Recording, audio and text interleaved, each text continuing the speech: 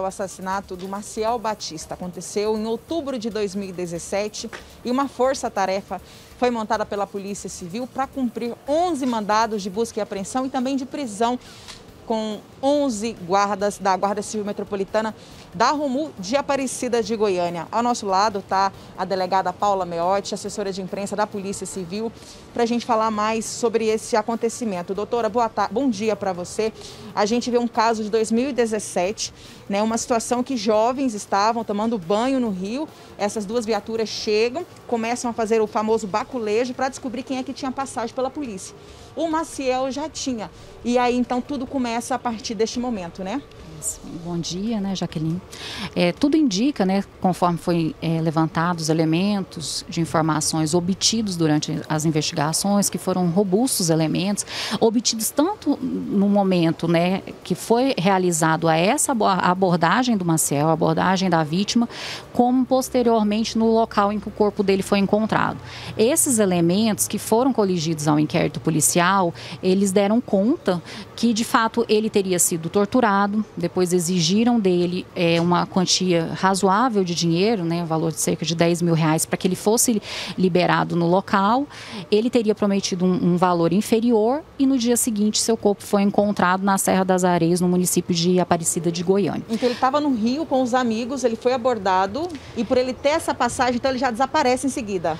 É, ele foi abordado um, um dia anterior, ele estava com outras pessoas no local, né, que outras pessoas que testemunharam essa primeira a, a abordagem.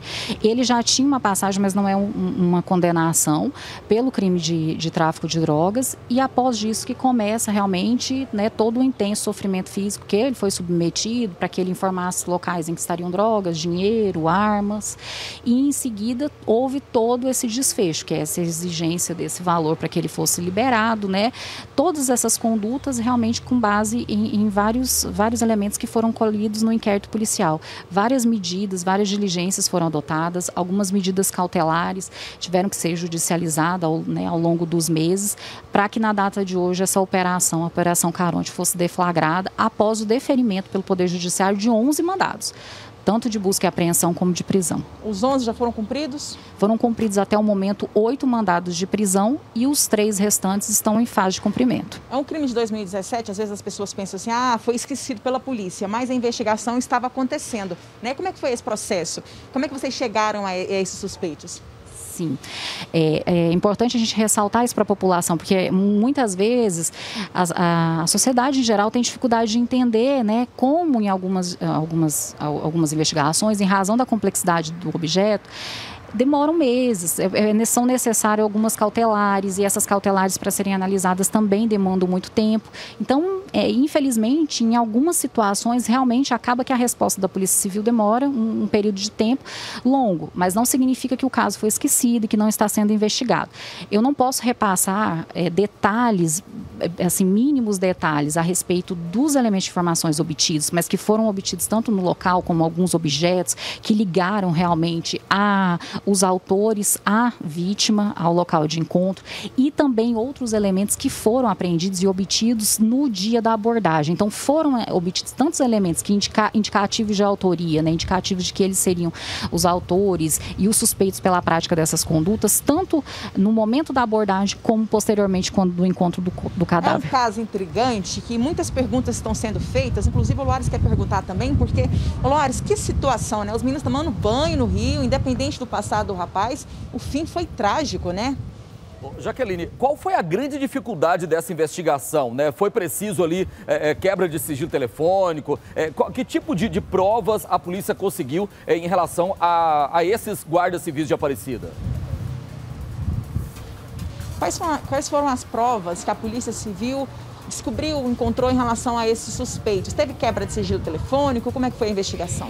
Nós não podemos repassar detalhes das diligências, porque se nós repassarmos, além de prejudicar a própria investigação que ainda está em curso, né, que a Polícia Civil ainda tem algumas diligências que serão realizadas nos próximos dias, como prejudicaria as investigações futuras e até mesmo a conduta, muitas vezes, de alguns suspeitos, alguns indiciados nossos, que isso traria um alerta né, a alguns executores de como como a polícia vem investigando. Então, nesse caso, por ser um caso bastante complexo, o repasse dessas técnicas de investigação prejudicaria investigações futuras. Então, eu vou ficar, de fato, infelizmente, defendo essa resposta. A senhora já ouviu algum deles? Alguém confessou que realmente fez? Qual que é a justificativa? O que, que eles estão falando em relação a isso? Sim, eles estão sendo ouvidos nesse momento, porque são muitos, né, é, é muitos alvos.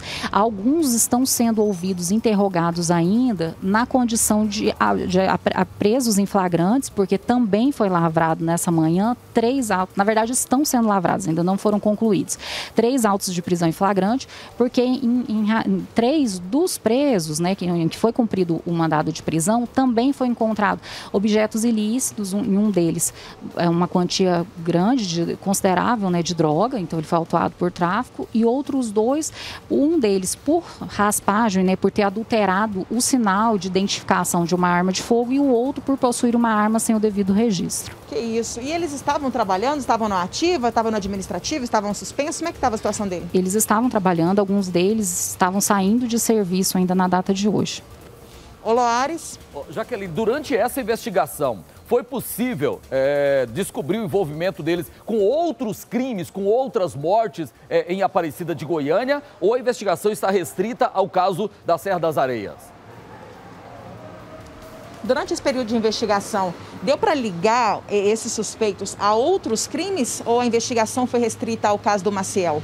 foi possível, né? É claro que a, a, operação de hoje ela é bem restrita ao homicídio do Maciel, mas foi possível levantar, inclusive, a ocorrência, a passagem, né? Quando faz uma simples pesquisa, até mesmo nos sistemas policiais, que vários desses alvos eles também já tinham passagem por estupro, por furto qualificado, por tortura. Então eram pessoas que tinham ligação com suspeitos, né? Suspeitos da prática de outros crimes. É uma situação complicada, né? E a Guarda Civil de Aparecida de Goiânia está com a palavra, né? É uma situação muito delicada, né, Loares?